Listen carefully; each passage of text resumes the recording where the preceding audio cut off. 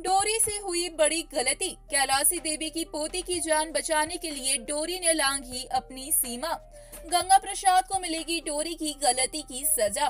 जी हाँ क्या है पूरी खबर? चलिए बताते हैं आपको आज की इस वीडियो के अंदर। दरअसल हम बात कर रहे हैं कलर्स टीवी पर टेलीकास्ट होने वाले पॉपुलर शो डोरी की, जिसके अपकमिंग ट्रैक में हम देखेंगे कि किस तरीके से डोरी कैलाशी देवी की पोती जब रो रही होती है तो उसके पास जाने के लिए, कैलाशी देवी की पोती की जान बचाने के लिए कहीं न कहीं कैलाशी देवी की ही बनाई गई सीमा को लांघ जाती है। क्योंकि कहीं न कहीं डोरी इस बात से पूरी तरीके से अनजान होती है कि इसका अंजाम इतना ज़्यादा गलत होगा। जी हाँ दरअसल यहाँ कैलाशी देवी की पोती चीख मार रही होती है। फूट फूट के रोते हुए नज़र आती है और डोरी कैलाशी देवी की पोती को लेकर कैलाशी देवी के कुर्सी पर बैठ जाती है। जिसके बाद फूट पड़ता है, सभी घर वालों का गुस्सा डोरी पर। वहीं कैलाशी देवी भी ये सब देखकर गुस्से से लाल हो जाती है।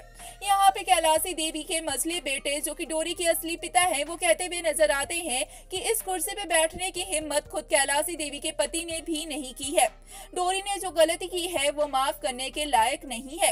वहीं पे डोरी की गलती की सजा कहीं ना कहीं कैलाशी देवी गंगा प्रसाद को देने की बात कहती है, जिसके बाद डोरी फूट फूट के रोते हुए नज़र आती है। वेल अब देखना होगा काफ़ी दिलचस्प की आखिरकार डोरी की इस गलती का गंगा प्रसाद को कैलाशी देवी देती है क्या सजा?